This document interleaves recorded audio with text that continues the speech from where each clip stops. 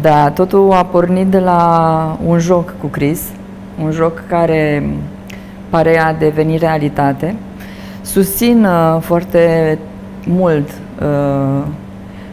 Grivița 53 pentru că uh, e o poveste și o discuție care a început în apartamentul ei cu mama ei, care a făcut un cadou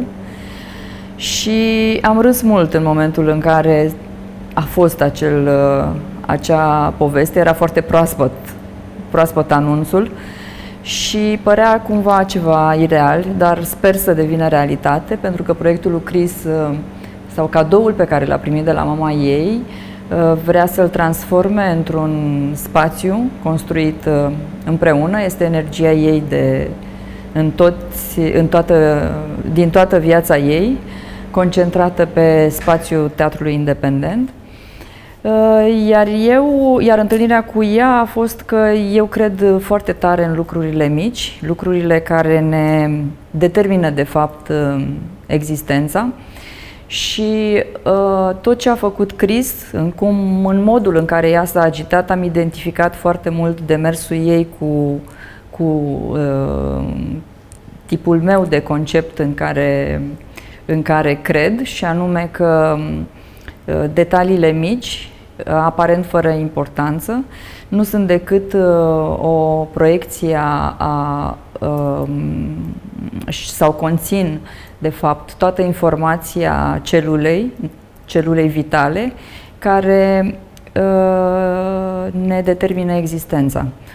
Uh, am făcut așa o discuție mai departe, pentru că totul are legătură cu oul meu, uh, un ou negru cu un punct alb, pentru că eu consider că suntem, traversăm o, o perioadă a unei um, problematici sau unei fundături uh, pe diferite planuri, sociale, politice, intime uh,